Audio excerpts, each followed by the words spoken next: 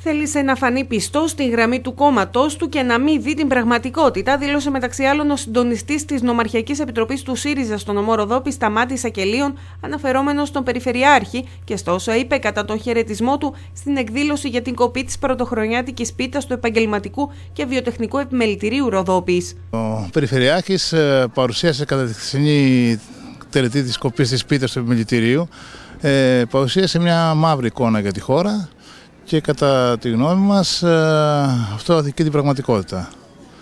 Ε, και στη δήλωση που έκανα του παραθέτω κάποια συγκεκριμένα στοιχεία όπως θα είδατε ε, και για την ανεργία που έπεσε ε, και για τις επενδύσεις στις ξένες που έχουν αυξηθεί.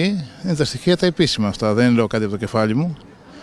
Ε, και θεωρούσα ότι τουλάχιστον σε η κοπή της πίτας του επιμελητηρίου της Ροδόπης δεν ήταν ο τόπος και το μέρος για να εκβαστεί ο Περιφερειάρχης με έναν τρόπο θα έλεγα σκληρά κομματικό και ξαφνικά να ανακαλύψει ότι μέσα στη μέση στη Μαυρίλα υπάρχει μια νησίδα δημιουργικότητας που είναι η διοίκησή του. Τα έργα της Περιφέρειας Ανατολικής Μακεδονίας και Θράκης από ποια Υπουργεία εγκρίνονται και από πού έρχονται οι χρηματοδοτήσεις, ρωτά τον κύριο Μέτιο, συντονιστής της Νομαρχιακής Επιτροπής του ΣΥΡΙΖΑ στη Ροδόπη. Εκεί όμως δεν μας είπε ότι όλα αυτά τα έργα τα οποία απαριθμούσε με τι χρήματα έγιναν. Κάποια από το ΠΕΠ, άλλα από το ΕΣΠΑ, κάποιοι έτρεξαν για το ΕΣΠΑ όμως.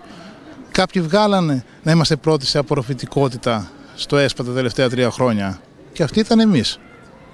Ήταν το αρμόδιο Υπουργείο, ήταν ο Αλέξος Χαρίτσης, το 1.600.000 ευρώ για τη γέφυρα του Ιάσμου, αυτό το έδωσε το, το αρμόδιο Υπουργείο. Το θέμα είναι θα κάνει ο Περιφερειάρχης για τη γέφυρα του Ιάσμου.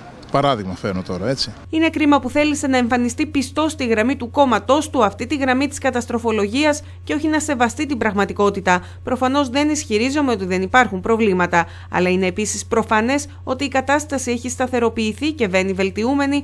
Αυτό μόνο η Νέα Δημοκρατία δεν το αναγνωρίζει και από ό,τι φαίνεται και ο Περιφερειάρχης αναφέρει στην γραπτή δήλωσή του ω σταμάτησα Αγγελίων. Δεν αμφιβάλλω και την πολιτική του ταυτότητα και την κομματική του ταυτότητα. Οποιοδήποτε μπορεί να την έχει.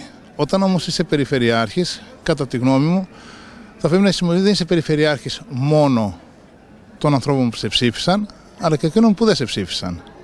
Έτσι. Ε, αυτό το ρόλο θεωρώ ότι χθες δεν, δεν τον έπαιξε όπως έπρεπε, τον έχασε.